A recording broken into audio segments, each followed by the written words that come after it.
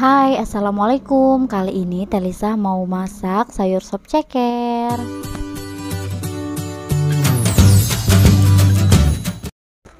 Nah untuk bahannya Telisa pakai 250 gram ceker ayam. Kemudian ini sopnya ada kol wortel ada kentang.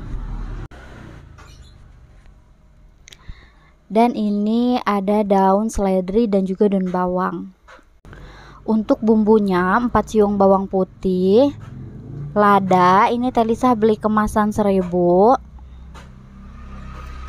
siung bawang merah 3 lembar daun jeruk 1 lembar serai Nah ini satu bungkus kaldu ayam ukuran kecil.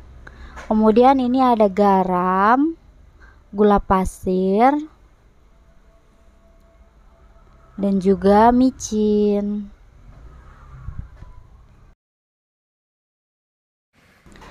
Nah selanjutnya Telisa mau potong-potong dulu semua sayurannya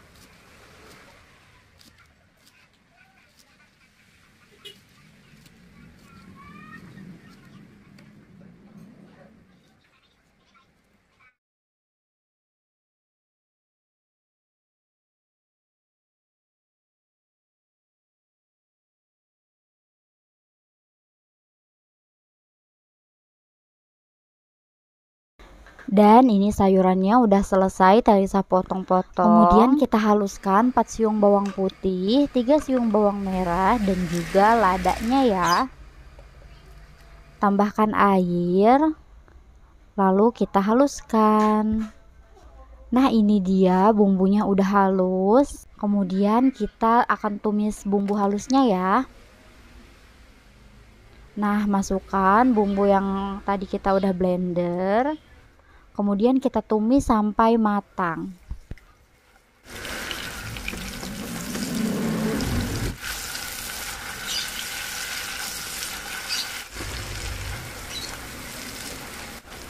Nah ini dia bumbunya udah matang Sekarang mau Telisah angkat kemudian siapkan air untuk kuah sop lalu kita masukkan bumbu yang tadi udah kita tumis ya.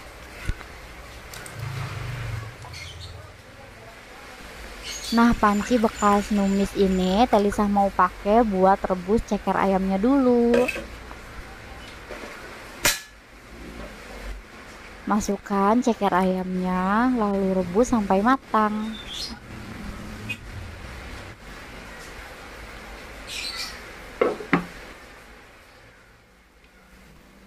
Nah setelah ceker ayamnya matang ini mau Talisa angkat dan air rebusannya ini dibuang ya.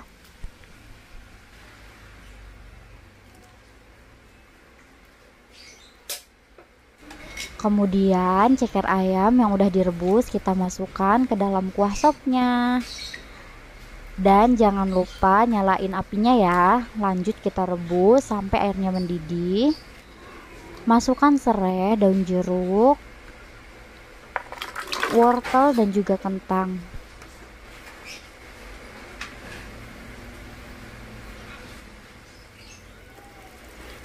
setelah airnya mendidih masukkan kol daun bawang dan seledri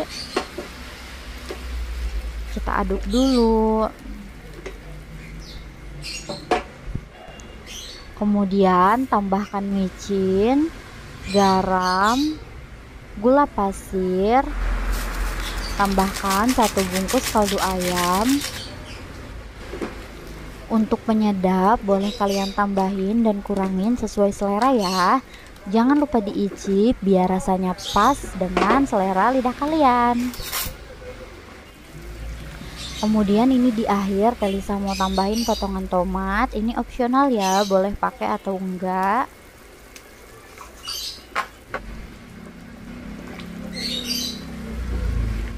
dan sayur sop cekernya udah matang sekarang tinggal kita sajikan